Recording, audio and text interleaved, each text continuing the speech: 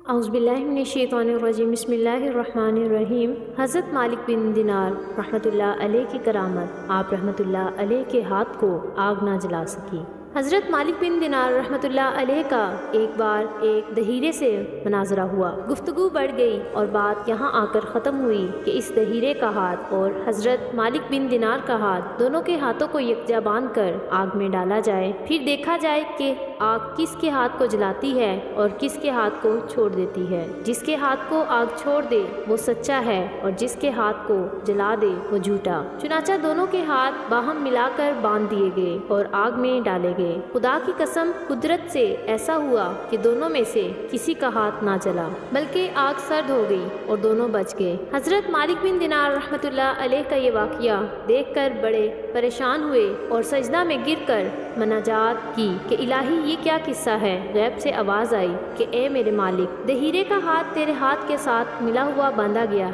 है और तेरे हाथ के साथ साथ आग में डाला गया और जो चीज़ तेरे हाथ से लग जाएगी, हम इसे भी ना जलाएँ। दहीरे का हाथ जलने से अगर बचा है तो तुम्हारे ही हाथ की बरकत से तुम अपना हाथ अलग और इसका अलग आग में डालो। फिर तमाशा देखो, चुनाचा फिर दूसरी मरतबा, ऐसा ही किया गया। तो हज़रत मालिक का हाथ तो महफूज रहा और दहीरे का हाथ जल गया और इसका झूठा होना ज़ाहिर हो गया। अगर आज की वीडियो पसंद आए, वीडियो को लाइक करें और चैनल को ज़रूर सब्सक्राइब करें।